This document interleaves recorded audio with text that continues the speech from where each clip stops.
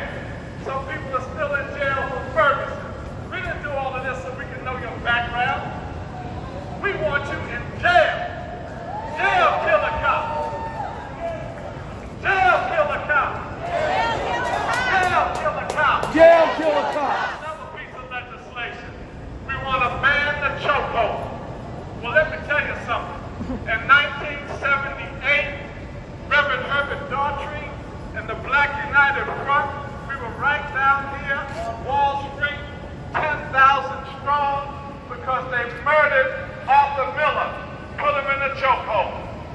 Then they said they're going to abolish the chokehold as a policy.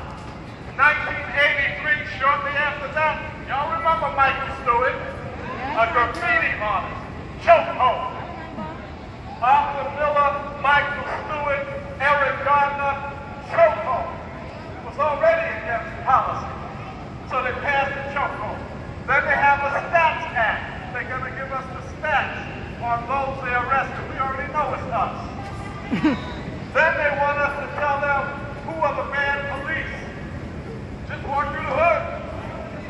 So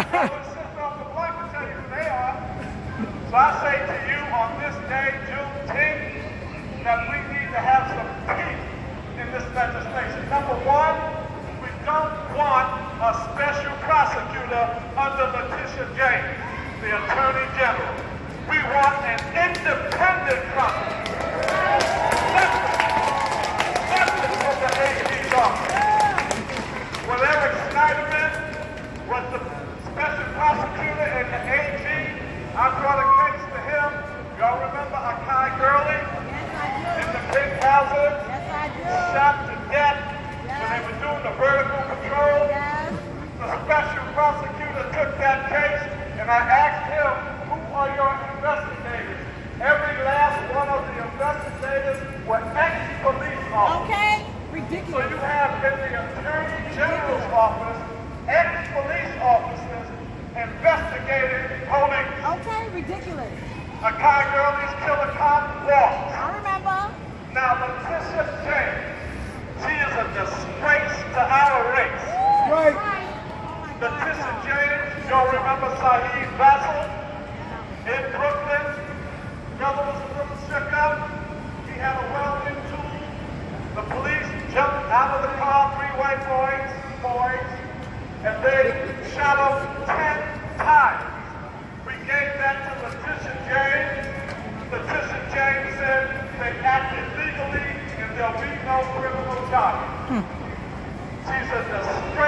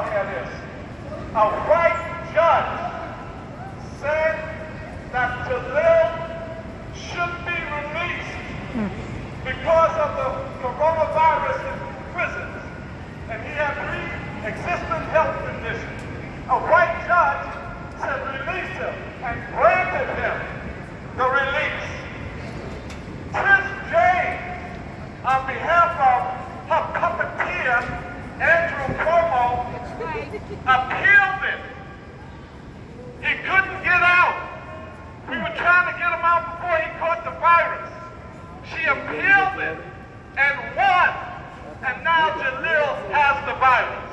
Hmm. And he is not going to be able to get out until September when he comes up for parole again. Tish James got to go. Tish James, Gotta go. Tish James, Gotta go. Tish James. Gotta go. Finally, Juneteenth. When y'all hear people tell y'all the history of Juneteenth, don't say some white General Granger came to Texas in 1865 of June. And like us dumb Africans were enslaved, didn't know that the emancipation took place in 1863, two years ago, and the white general came to that plantation in Galveston, Texas, read the Emancipation Proclamation and we jumped up and down and celebrated. Oh my God, we're free. That did not happen.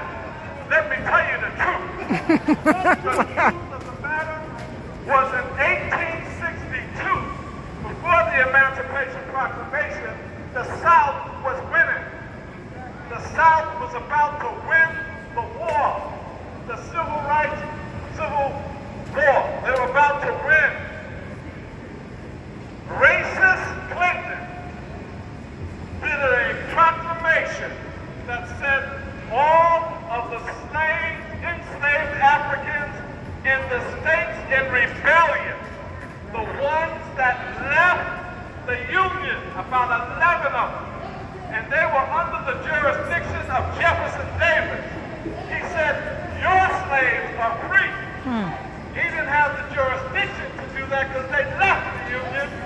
And he said, the five states, the four states, Kentucky, Maryland, Delaware, Connecticut, you were slave states, but you didn't Union so you can keep your enslaved Africans.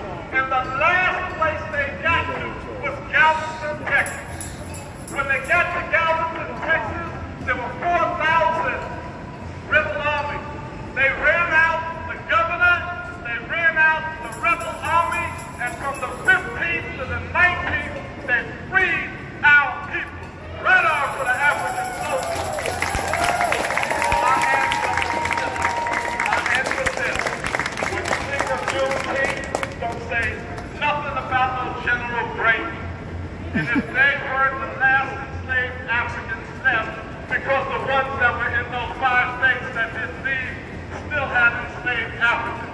The 13th Amendment was ratified in December of that year, after June, that abolished slavery, said slavery shall be abolished except, except as a punishment for crime. We went from the plantation to the penitentiary. Straight ahead, power to the people. Power to the people. Black power to black people. Black power, black people. Juneteenth, liberated blacks!